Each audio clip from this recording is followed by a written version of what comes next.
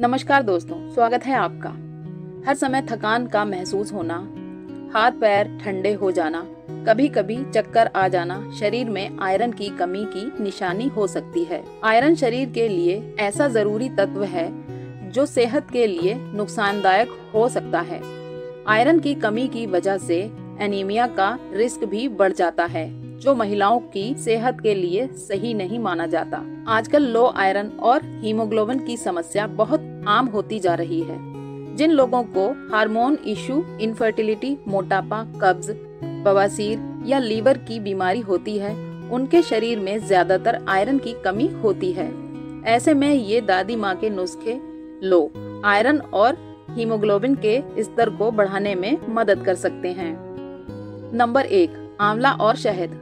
आंवला में vitamin C और आयरन भरपूर मात्रा में पाया जाता है।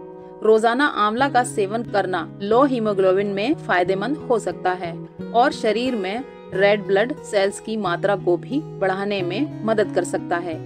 आंवला और शहद के कॉम्बिनेशन के बेहतर परिणाम के लिए सुबह सेवन करने की सलाह दी गई है।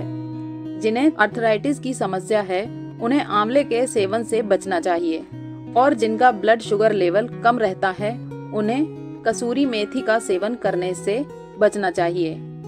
नंबर दो, मेथी के बीजों का पानी। मेथी के बीजों के पानी का सेवन करना भी आयरन की कमी को दूर करने में मदद करता है। इसके लिए मेथी के बीजों को रात भर पानी में भिगोकर रख दें और फिर छानकर पानी का सेवन कर सकते हैं। साथ ही आप मेथी के बीजों के पानी से चावल या खाना पकाने में भी इस्तेमाल कर सकती हैं। नंबर तीन, कद्दू, तिल और सरसों के बीज। कद्दू, तिल और सरसों के बीजों के मिश्रण का सेवन करना भी आयरन की कमी को दूर करने में मदद करता है। इन बीजों में आयरन की भरपूर मात्रा होती है, जो शरीर में हीमोग्लोबिन बढ़ाने में मदद करता है। डाइट में कद्दू के बीजों को शामिल करने से रेड ब्लड सेल्स के उत्पादन में मदद मिलती है।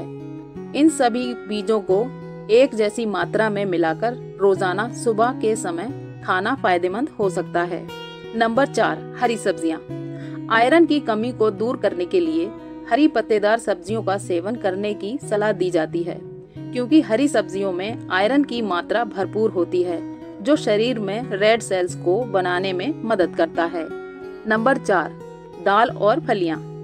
आयरन की कमी को दूर करने के लिए सफ़ेद चने, सोयाबीन, मसूर की दाल, चना दाल आदि का सेवन करना चाहिए, क्योंकि इनमें आयरन के साथ प्रोटीन भी भरपूर मात्रा में होती है, जो मांसपेशियों को मज़बूत करने में मदद करता है।